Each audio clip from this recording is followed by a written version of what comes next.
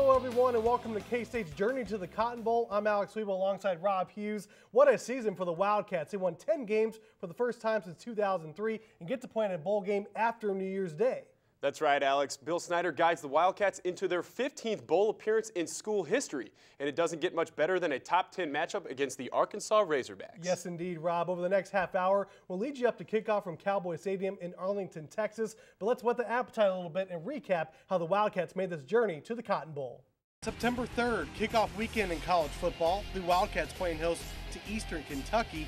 K State defensive back Nigel Malone bursts onto the scene. He records two interceptions and begins a stellar year on his way to all Big 12 honors. It remained tight into the fourth quarter as K State didn't put any points on the scoreboard. However, the Cats remained calm.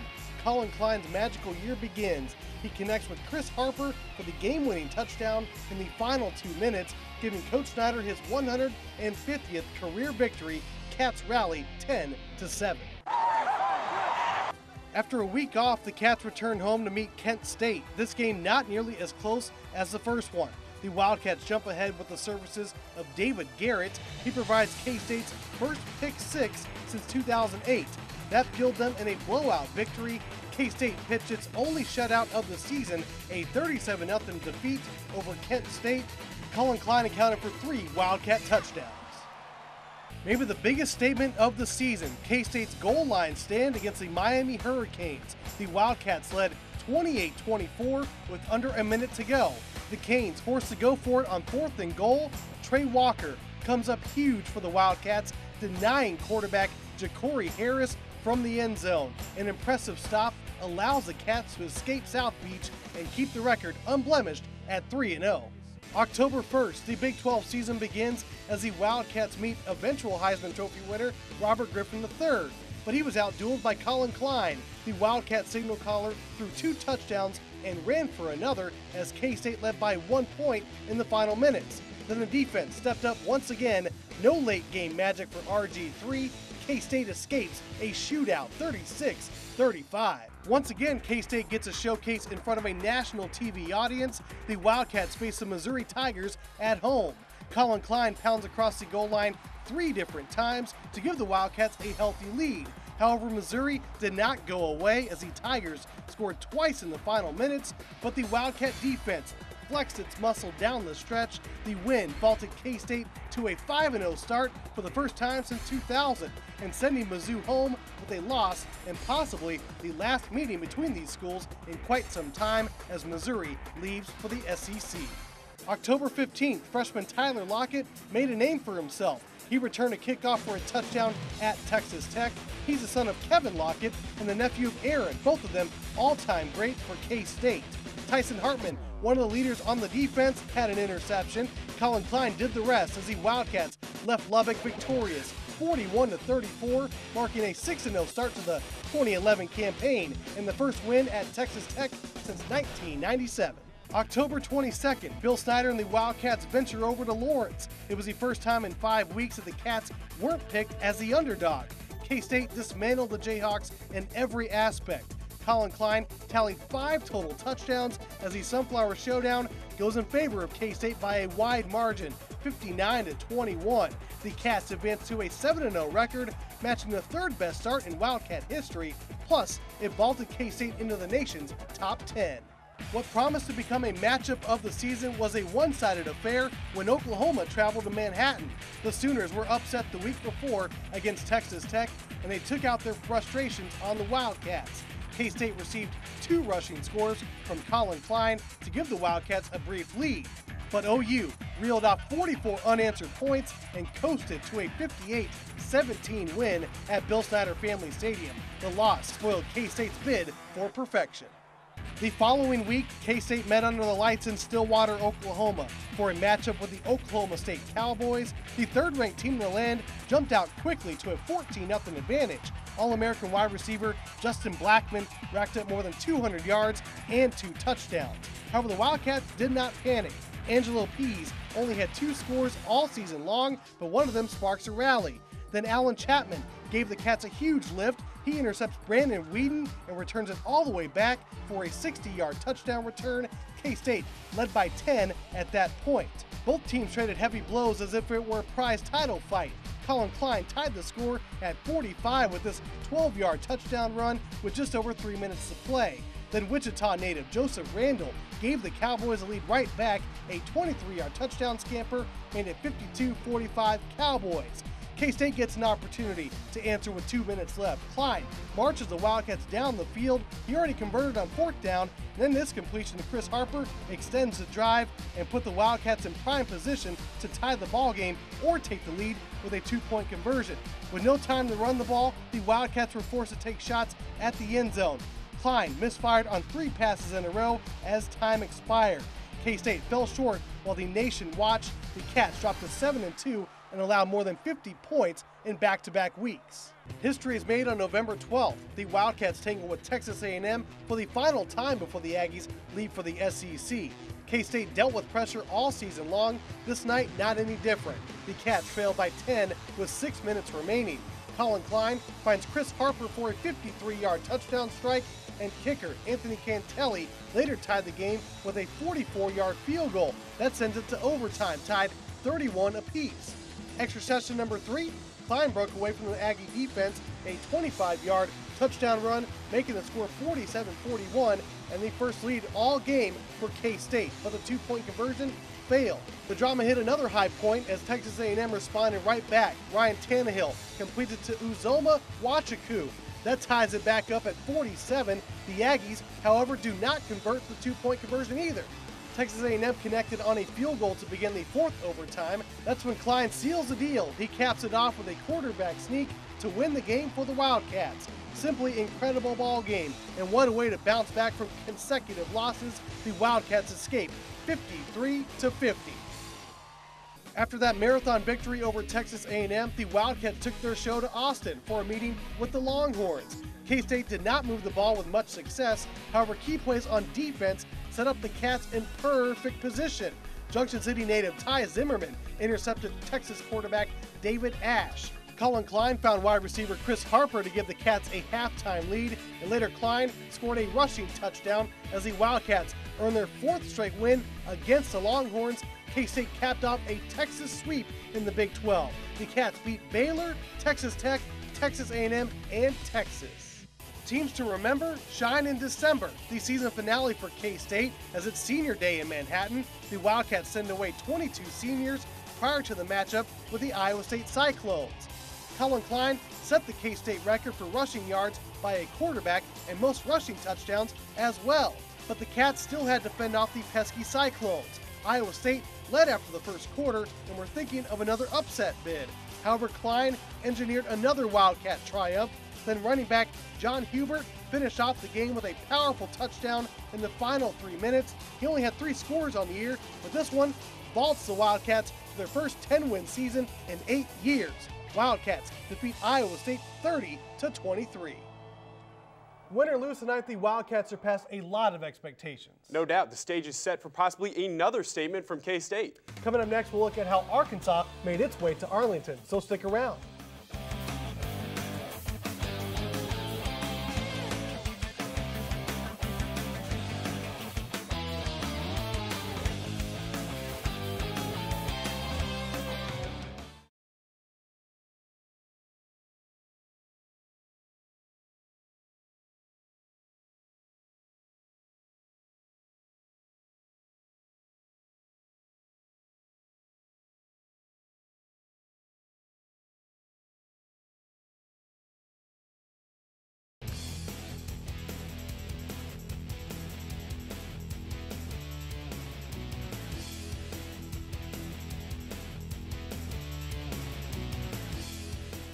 Hello, we already saw how K-State finished with a 10-2 record. Now we'll look at the opponent, the Arkansas Razorbacks. Alex, they also have a 10-2 mark and competed against some of the best teams in the country.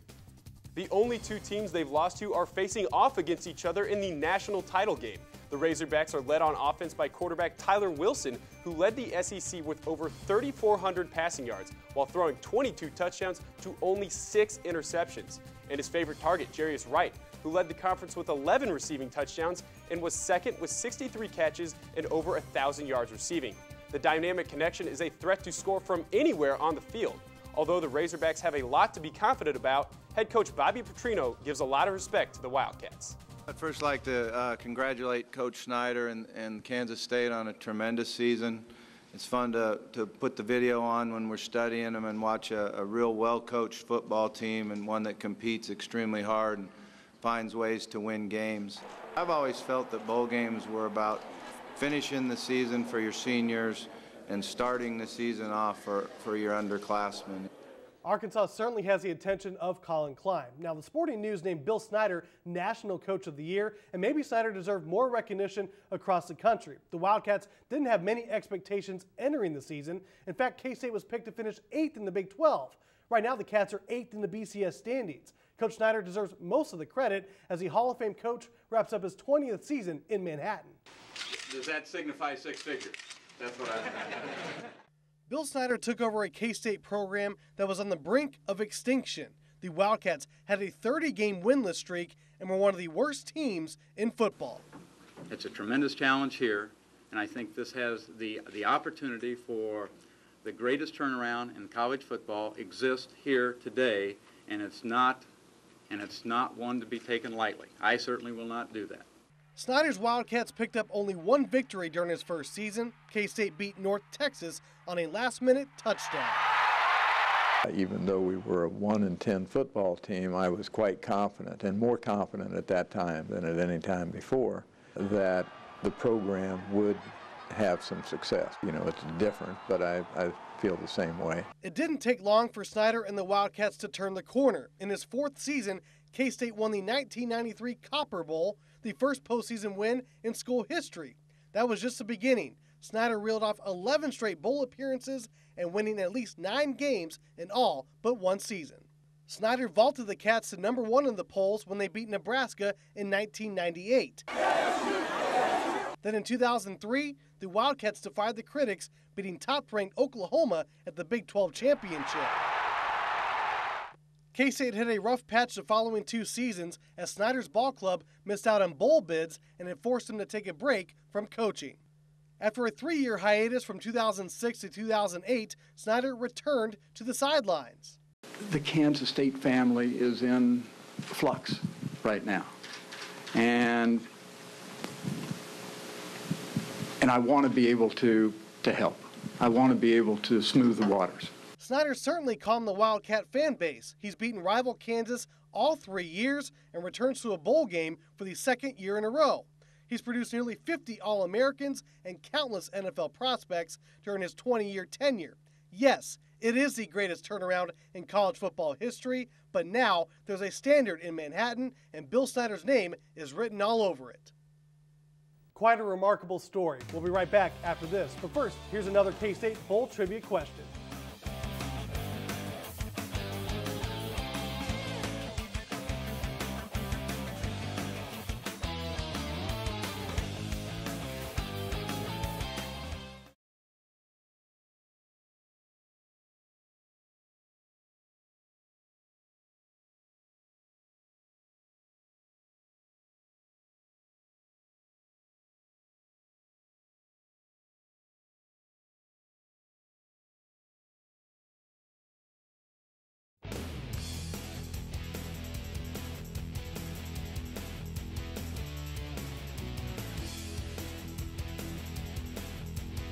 Welcome back in our coverage of K-State's journey to the Cotton Bowl Special. Last season, the Wildcats ended the year in the inaugural Pinstripe Bowl against Syracuse. As Kansas First News sports reporter Rob Hughes tells us, that game had a lasting memory.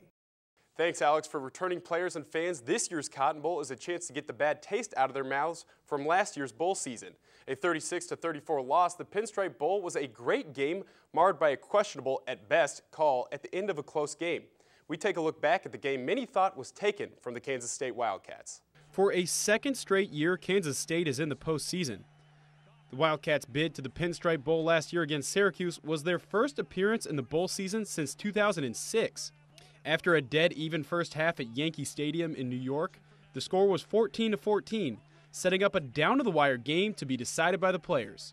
Unfortunately, though, that would not be the case after Kansas State's Adrian Hilburn slipped a tackle for a 30 yard touchdown reception with a minute 13 remaining, it was just a two point game. The referees took exception to a simple gesture Hilburn made to the crowd in celebration. It was a salute. and as a result, K State was hit with a 15 yard excessive celebration penalty to be enforced on the two point conversion attempt.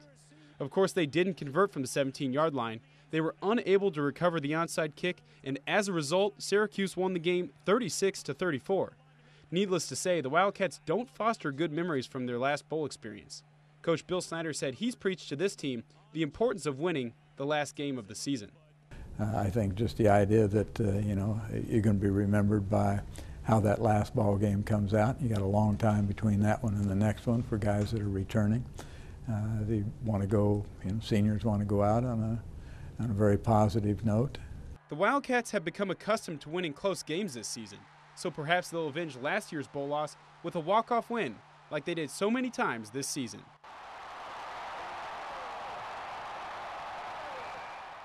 Thanks, Rob. Certainly a painful memory for a lot of Wildcat fans. But stick around. After the break, we'll lighten things up and have our keys to the game, plus our predictions. You don't want to miss it. Stay with us.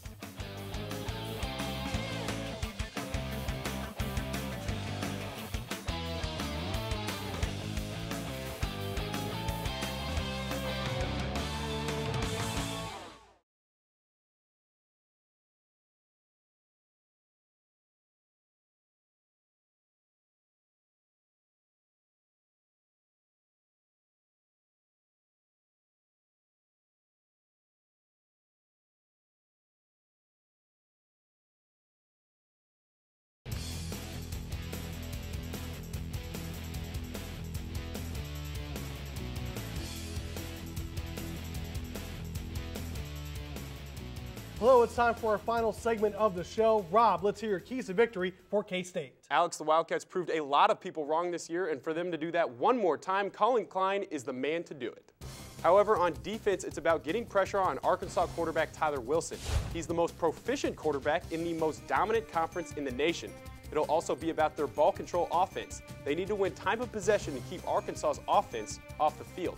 K-State has averaged 50 less yards of total offense per game than their opponents on the season, but they have still been able to go 10 and 2.